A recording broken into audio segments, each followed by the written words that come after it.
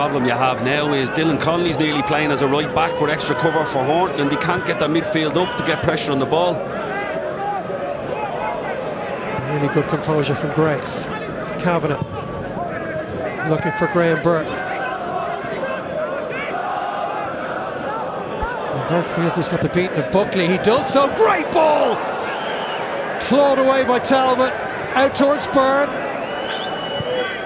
Another ball in, and that's a brilliant goal! Delivered on a plate by Jack Byrne and turned home by Neil Farrugia at that front post. And Shamrock Rovers trying to break through close to half time.